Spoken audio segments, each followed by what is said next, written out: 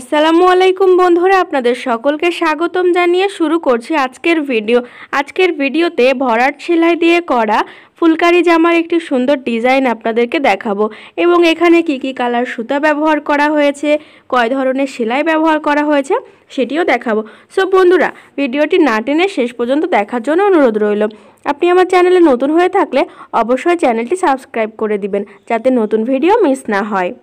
প্রথমে এখানে আপনাদেরকে গলার ডিজাইন দেখায়। দেখতে পাচ্ছেন গলাতে, গলার যে আকৃতি, সে বরাবর একটা বর্ডার করা আছে। সেখানে দেওয়া আছে ডাবল চেন আর গোলাপ ফুলগুলো করা আছে ভরাট দিয়ে। গোলাপ ফুলের মধ্যে আবার দুই কালার সুতা দেওয়া আছে, কমলা এবং লাল। কমলার মধ্যেও কিন্তু লাল দেওয়া আছে আর লালের মধ্যেও কমলা দেওয়া আছে। ভিডিওটি লক্ষ্য করুন, তাহলে বুঝতে পারবেন। আর পাতাগুলো হচ্ছে খেজুর পাতা, ডালগুলো হচ্ছে সুজনি, আর এখানে গোলাপের ছোট ছোট কলি দেওয়া আছে। আর দেখতে পাচ্ছেন গোল গোল ছোট ছোট গোটা গোটা ফুল দেওয়া আছে আর কিছুটা অর্ধেকটা ফুল দেওয়া আছে। এবার এটি হচ্ছে পাড় সো বন্ধুরা, পাড়ে আছে দুই লাইন বরাবর খুব সুন্দর ডিজাইন। এখানেও একই সেলাই দিয়ে পাড়টা করা আছে। পাড়টা দুই লাইন করার জন্য অনেকটা চড়া হয়েছে এবং খুব সুন্দর এবং আকর্ষণীয় লাগছে। ডিজাইনটা যদি খুব সহজভাবে আঁকানো দেখতে চান, তাহলে অবশ্যই আমাকে কমেন্ট করে জানাবেন। আমি আপনাদেরকে যথারীতি চেষ্টা করব আঁকিয়ে দেখানোর। আর যদি আপনারা চান এই ড্রেসটা নিতে, তাহলে অবশ্যই আমাকে কমেন্ট বক্সে জানাবেন। আমি আমার সাধ্যমতো খুব ভালোভাবে বানিয়ে দেওয়ার চেষ্টা করব।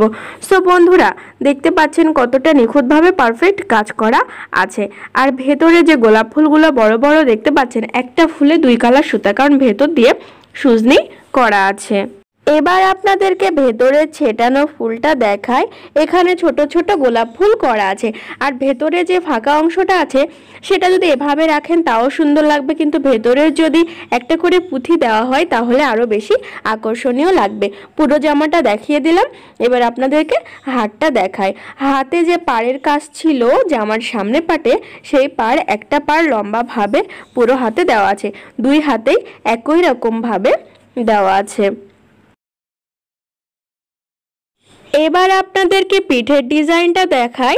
এখানে ছোট ছোট কলি গোলাপ দিয়ে পুরো পিঠটা ভরানো আছে। এবার একদম গলা থেকে নিচের পাড় পর্যন্ত পুরোটা দেখায় দেখতে পাচ্ছেন, হলুদ কালার কাপড়ের ওপরে লাল কমলা, বেগুনি, সবুজ কালার সুতা দিয়ে জামাটা কতটা আকর্ষণীয় লাগছে। আর ভেতরে যদি সাতা পুঁথি দিয়ে দেওয়া হয়, তাহলে তো আরও বেশি আকর্ষণীয় লাগবে। সো বন্ধুরা, আজকের ভিডিওটি যদি ভালো লেগে থাকে, তাহলে অবশ্যই একটি লাইক দিবেন। কোনো কোশ্চেন থাকলে কমেন্ট করে আমাকে জানাইতে ভুলবেন না। একটু বেশি ভালো লাগলে পরিবার এবং বন্ধু বান্ধবের সাথে শেয়ার করে দিবেন। নতুন ভিডিও পেতে চ্যানেলটি সাবস্ক্রাইব করে দিবেন। আল্লাহ হাফেজ!